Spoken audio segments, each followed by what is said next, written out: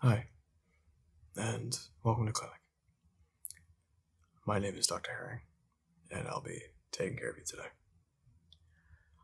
I am given to understand that you are looking for a complete and comprehensive cardiac exam. I'll be honest, we don't get that request often. But not only is it my job to keep you healthy and make you healthy, it's to address your concerns about your health. So, happy to do it. For my physical exam, I will need to put my hands on you. But before we do that, I do have a few questions. Are you currently experiencing any chest pain or have you recently?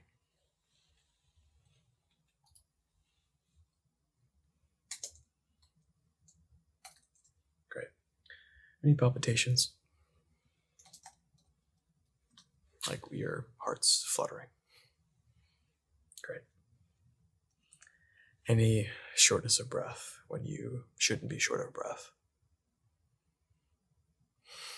I think we we all get short of breath walking up a few flights of stairs. That's okay. But nothing new or nothing's changed. Great. How far do you suppose you could walk before you get short of breath? Yeah. Okay. That's what I thought. But I always have to ask. Have you ever been diagnosed with a cardiac illness? Things like high blood pressure or coronary artery disease, heart failure, anything like that. Okay. Any other medical history I should know about? Okay, great. Any diseases run in your family? Anyone with high blood pressure, diabetes? Okay. Any cancers run in the family?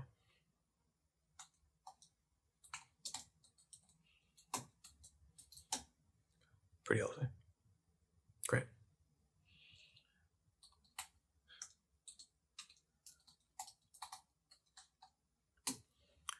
What do you do for work? Oh.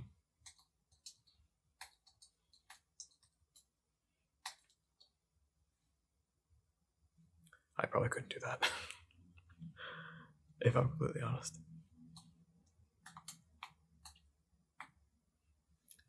Yeah, I can doctor, but I can't do much else.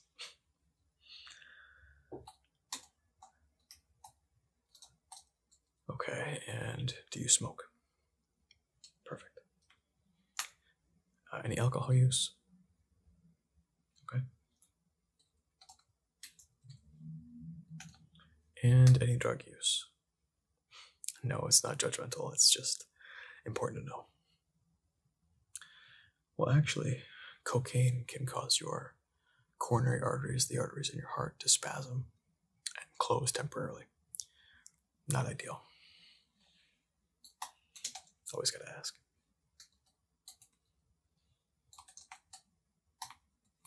Okay.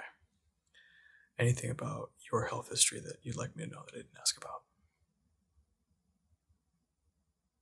Great. All right. Have you hop up here on the bed and uh, wait your exam started? All right, great. Ready? Okay. Promise it won't hurt. Sure, yeah, I'm happy to explain everything I'm doing. Absolutely. So, first, my hand on your chest. What I'm looking for is something called the point of maximal impact. I want to make sure that where I can feel your heart the strongest is in the right spot.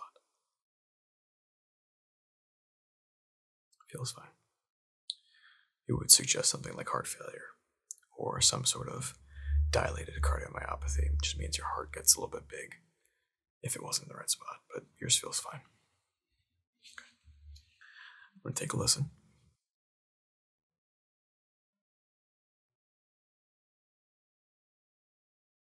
Breathe normally through your mouth, please.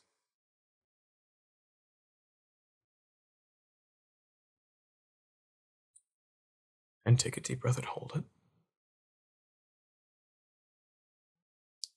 And relax. What I'm listening for here are your heart valves looking for murmurs. When I ask you to take a deep breath, that's really just for me, so I can hear a little bit better. So, yeah, that's right. Sometimes when you breathe, the noise of the air going back and forth obstructs my hearing just a little bit. And it gets a little bit uh, loud in there. Let's continue.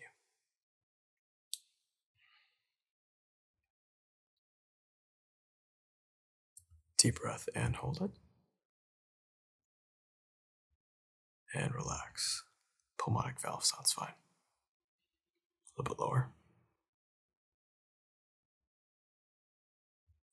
Deep breath and hold it. And relax.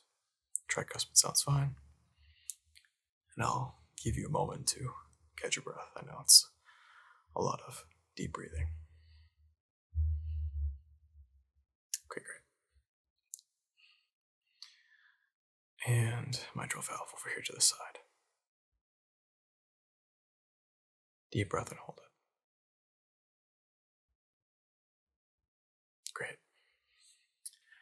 No murmurs, no extra heart sounds, nothing nothing sinister. Quite great. What I'm going to do now is have you look to that direction. All I'm looking for in your neck here is to make sure I don't see anything obvious like fluid backup. If you were in heart failure, I would see some fluid in your neck veins backing up, which I don't. Okay, go ahead and look to the other side. Take a look at the other side here. Great. And take a listen to your neck.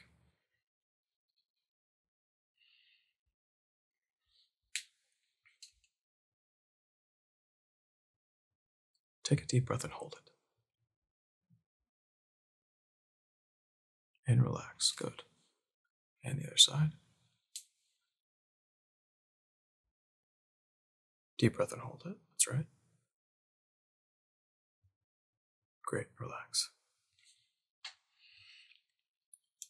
Now, sometimes we can have plaque buildup in the arteries in our neck, and that's not ideal, as you might imagine.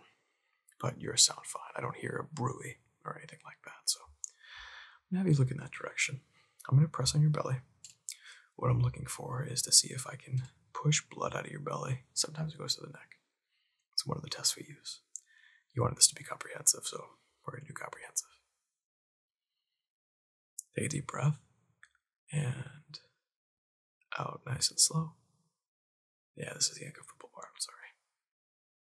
Okay, great. Relax. All right. There's a couple more things I want to listen for. First of all, I want to make sure you have in your belly no abdominal aortic aneurysms. Usually I can feel them if they're big, or I can hear them if they're not so big, but they're still there. And then I'll check your legs. First, just gonna push on your belly just a little bit lighter than last time. That was the most painful part, I know. Okay, I don't feel anything. Take a quick listen.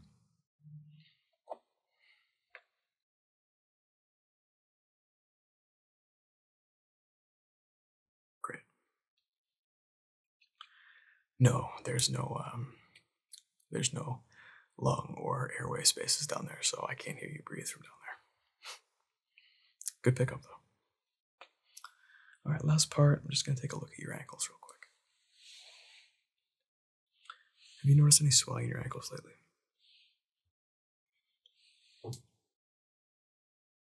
Yeah, I think we all kind of get sock lines, but when you wake up, they're gone. Great. No, no fluid there. It's one of the places fluid likes to back up if you're in heart failure. So, all right. Seems like everything is fine. You have peace of mind. Good. That's what we like to hear. You want more things examined? Well, you have to run. Okay. Well, I have extended hours next week. Um, cranial nerve exam? Absolutely, I can do that. Yeah, internal medicine, we do pretty much everything. Great. Absolutely. Yeah, yeah. Tell you what, when you go pick up your paperwork from the front desk, make sure you schedule with me, again, Dr. Herring. And I will see you next week for your cranial nerve exam. Great, it was nice to meet you too. Take care.